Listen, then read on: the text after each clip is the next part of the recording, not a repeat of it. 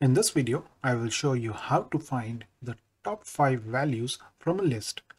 I will also show you how to make the results dynamic so you can display the top 5 values based on additional filter criteria. The method that I'm going to show you can be easily tweaked to show the top 3, top 5, top 8, basically top n results. So let us look at the problem statement. I would like to retrieve the top 5 names by North America sales values.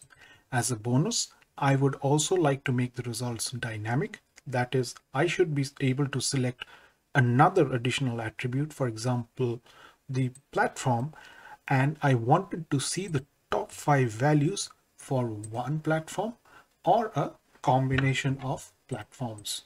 The first step would be to create a pivot table. And to do that, I would select the data that I have, the data table or the list that I have. And once I have selected the data, I would go to insert pivot table. And I want the pivot table in an existing sheet. So I would click existing sheet and click OK. Now we wanted the names by uh, top five names by North America sales. So I would select names in rows and North America sales in values. As you can see now, it has given me a list of uh, names by North America sales. The next step would be to sort the North America sales by uh, highest to lowest.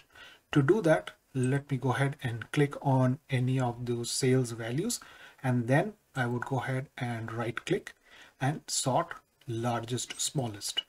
Now what this does now is it sorts all the values from largest to smallest, but it does not give me the top five. To do that, I would go here to row labels. And if you see there is a small arrow like this, a filter uh, symbol, click that and you will see something called value filters. And when you go to value filters, go to top 10. Now if you wanted the top five so what it shows here is it asks you tells you that you can show the top 10 items by North America sales. So this is what we want but we wanted top five. So if you wanted the top three you will put three eight ten you will put the value here. So once I click OK it would now give me the top five uh, names by North America sales.